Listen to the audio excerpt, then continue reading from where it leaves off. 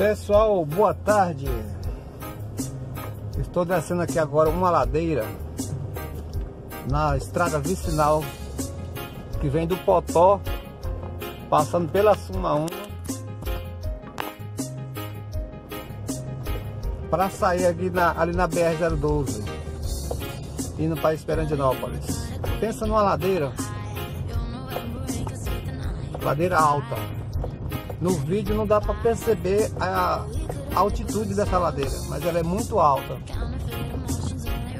Muito íngreme, diz o, o pessoal, né? Pra ter ideia, pra ter uma ideia, eu vou parar o carro aqui e vou dar um zoom no vídeo. Pra você ver lá do outro lado. Olha. Olha a distância. Aqui é uma pissarreira. Olha, a pissarreira, né? Tá vendo aí o chão vermelho. Olha. Lá do outro lado, ó. A distância. A altitude que é esse lugar aqui. Tá o vídeo normal. Aqui tem uma, uma sentadazinha onde foi tirado o cascalho. Vou dar mais um zoom novamente. Olha lá. Lá do outro lado. Olha lá. Daqui dá pra ver, né? A vila. a vila Suma Uma e as casas, os telhados da casa. E vamos descendo aí. Daqui a pouco a gente passa lá. Beleza? Vamos descendo a ladeirona aí. Ladeira pesada, mano.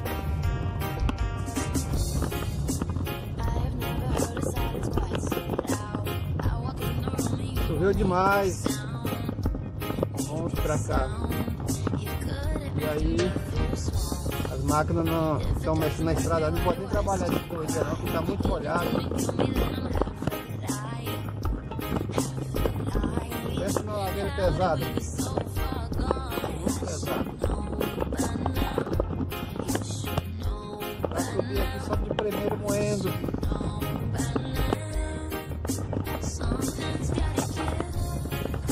Eita, que a gente vê muito longe, enxerga longe.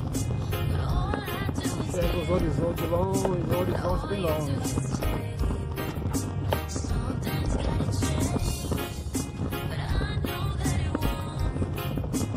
Maranhãozão.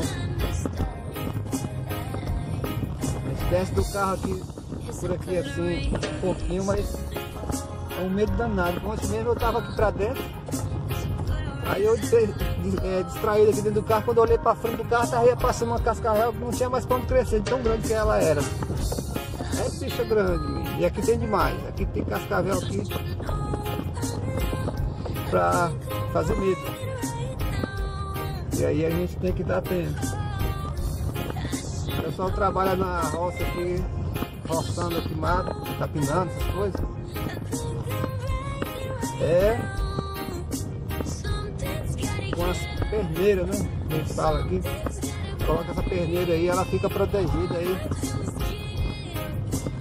do, do, do sapato, da botina, né? Até aqui em cima do joelho. Assim a cobra vir, quando ela focar, ela alcança só a perneira. A perneira ela é feita com couro e ela tem umas, umas chapazinhas de ferro por dentro que evita da, do, do dente da cobra ultrapassar ali e atingir a pessoa.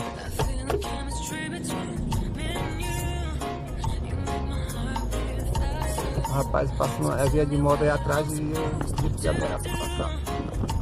A moto anda mais rápido Pois é isso aí, aí é, aí é a proteção que eles têm, né? E aí é muito difícil o cara trabalhar o dia na roça e ele não encontrar duas, três cascavel por aí. É só entrar no serviço aí. Inclusive para trabalhar no, no, assim com o campo de no, nos pastos aí, é 99% de chance de topar com lá no meio do capim aí. Tem que também andar com cuidado. Tá sempre protegido. E é uma cobra muito venenosa. Muito raro escapar. Pelo incrível que pareça, elas produzem muito, elas, cada cria que uma cobra dessa aí bota aí no mundo aí é, é bem muito filhotinho. E acredito que escapam muitas delas. Se elas tiverem uma produção de 20, 25, 30 filhotes, acho que mais da metade escapa. Né? E aí, meu amigo, aí é tem demais.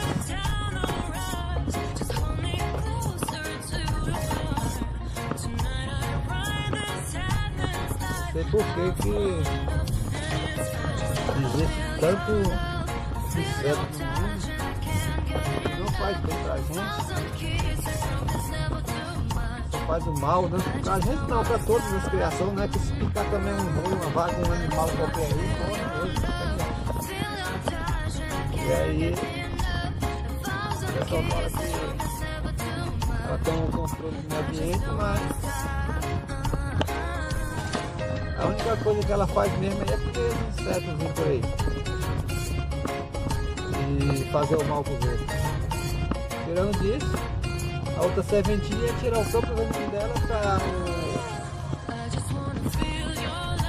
especialista aí lá do Butantan em São Paulo, tira o veneno da cobra para fazer o contra-veneno, né? Própria Impressionante. É essa técnica que eles têm. Mas se está no mundo é porque Deus permitiu, né? Se Deus permitiu, tá tudo bem.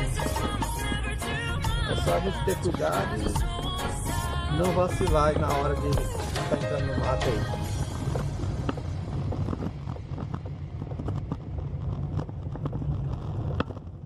estradinha de terra aqui me lembra muito a, a região do Pará. Lá é muito comum essa pissarra. É, todo lado que a gente vai tem muita, muita pissarreira. E aqui tem uma lama feia, tenho que entrar de segunda e arrochar o carro para poder passar.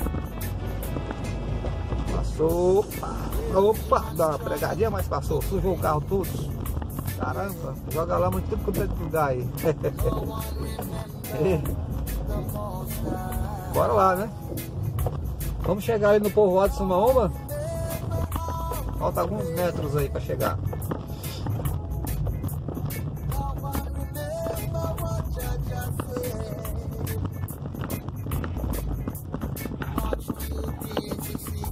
Mais uma ladeirinha para descer aqui todo tempo descendo. Descendo, descendo, descendo todo tempo. A vila. A vila Suma Uma, galera.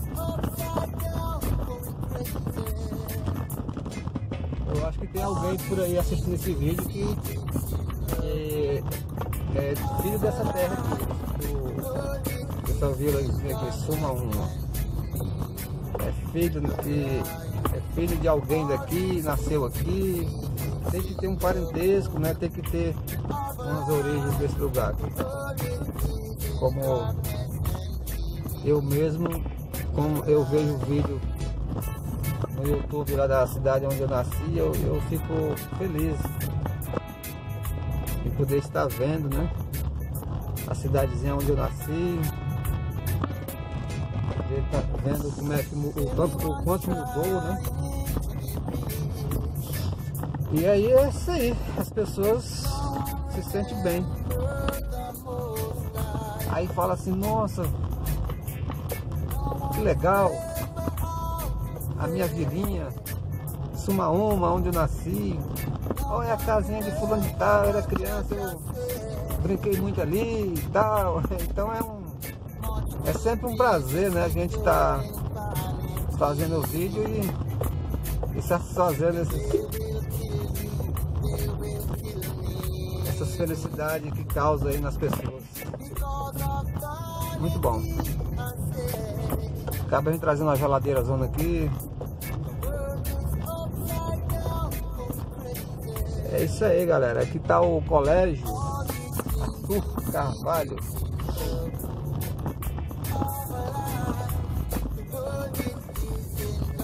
voltar ali, eu só dei viagem perdida aqui. Caramba, não é diferente não pra te dar uma viagem perdida dessa.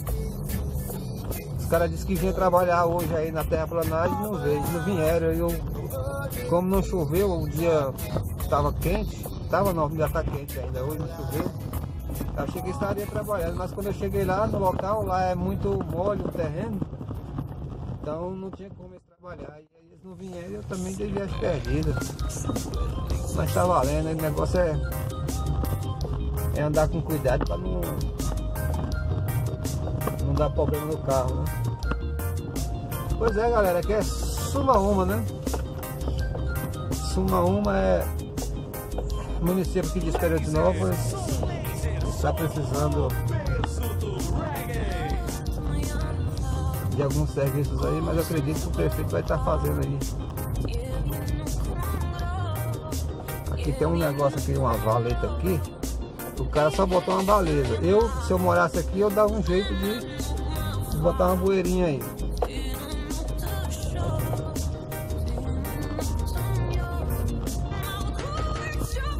Eita, nós! É só fazer uma pontezinha, um bueiro, um negócio qualquer, aí fica bom.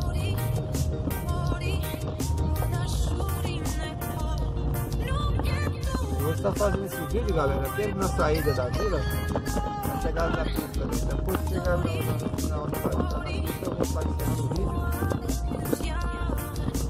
Grande até demais. Acesse o canal do Super Laser Som no YouTube. Deixe o seu like e compartilhe. Vocês vão gostar da, das. Mas eu vou estar colocando aí para vocês estar assistindo aí no YouTube. Se gostar, vocês pelo menos um likezinho aí para poder a gente ficar mais feliz, beleza? Pura?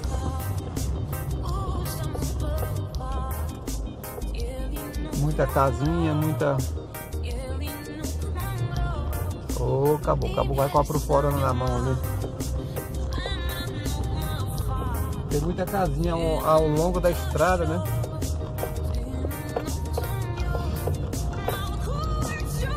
Eita Deus, Deus poderoso, tenha piedade de nós.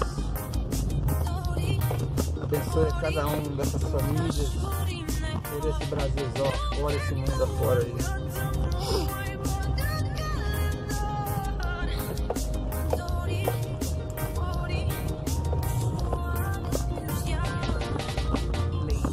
tô aqui devagarzinho. Estradinha um pouco tá ruim. E aí pra poder estar mostrando direito aí a vida aí.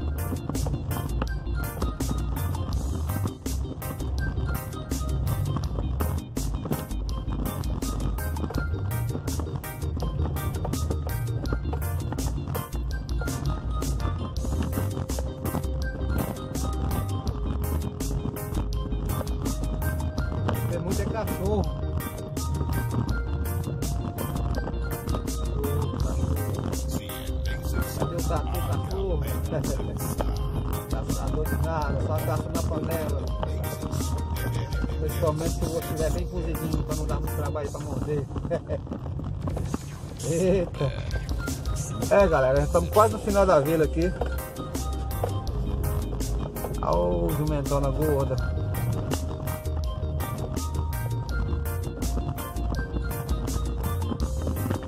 botar fogo aí. Botar fogo aí nesse negócio aí. Ei, não tem mais não, cara.